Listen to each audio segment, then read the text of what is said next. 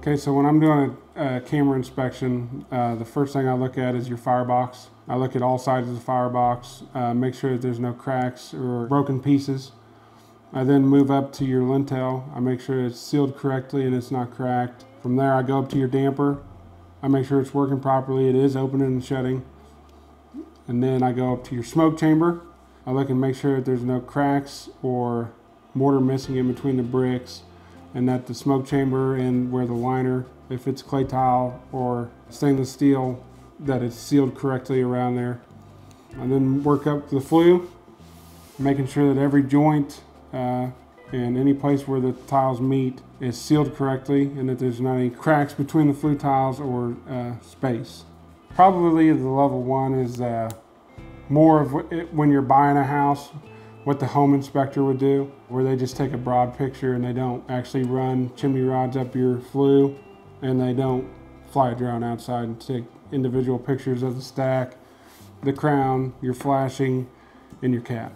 When we leave your house, we want to make sure that if your fireplace is suitable for burn, that you know it's suitable for burn, and if it's not suitable for burn, we don't want to leave there letting you think that it is suitable to be burnt. When we recommend repairs, uh, we're recommending the repair not to just do the job, but to also keep you and your family safe, because that's ultimately our goal is to keep your family safe if you're burning a fire. Everything that I inspect, uh, we can repair. Uh, Aardvark services in-house and I would have I would give you an estimate and talk you through your uh, repair. Most repairs are done in one day. Uh, if you have two fireplaces and need two liners, uh, that could be a two-day process.